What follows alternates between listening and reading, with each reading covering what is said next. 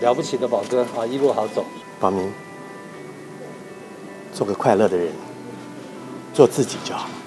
他是武林的高手，他离开对武林来说是一个很大的事情。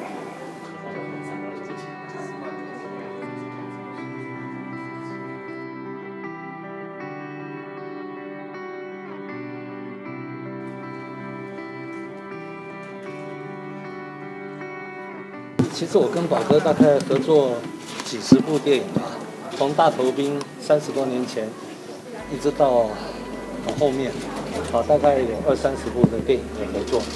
他在现场永远都是开心果，然后他帮人家治病啊，帮人家解决问题。了不起的宝哥啊，一路好走。我第一次听到宝明的事情的时候，shock，然后会觉得伤心，会难过。但是经过两个礼拜的沉淀，我觉得现在我还蛮平静的。基本上来说，他可以到天上去做他真正想做的事情。有人跟我说，宝明可以到天上去办一个剧团。我说哦，宝明的个性大概不会，他不喜欢搞行政的事情。可是国修可以，国修办一个剧团，宝明参加，然后以后我们去了。都有地方让我们演戏，不是更好吗？宝明，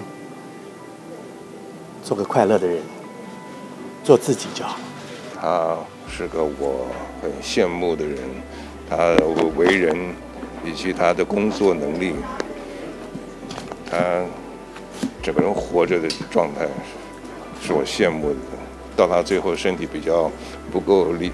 好的时候，他仍然非常懂得自持修修行，然后每次见了他都慈眉善目的，觉得没有看见他抱怨、诉苦、发牢骚，在他脸上没有读到那些辛苦的、挣扎的、劳累的事情，很难得，很羡慕他，他是武林的高手，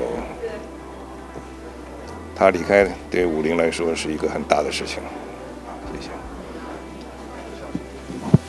宝哥这种温暖的叮咛，我会永远、永远都记得。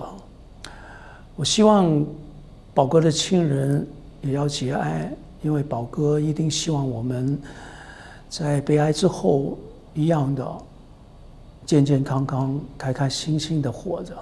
我认识宝哥已经一段很长很长的时间，应该是从天与地一直到投名状的那段时间。就是虽然每一次我。我见到他的时候都是在工作的时间，但是每一次都会感觉他像一个大哥哥，然后照顾着身边每一个人。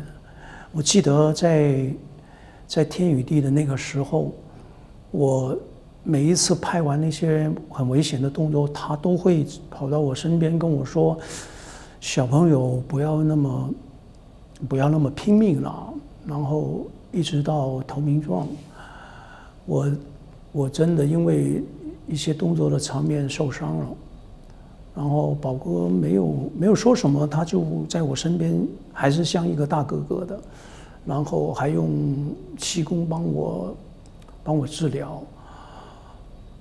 那后来他就会说，你知道吗？你这样在你身边的朋友会很心疼你的，然后希望我会呃不要忽略自己。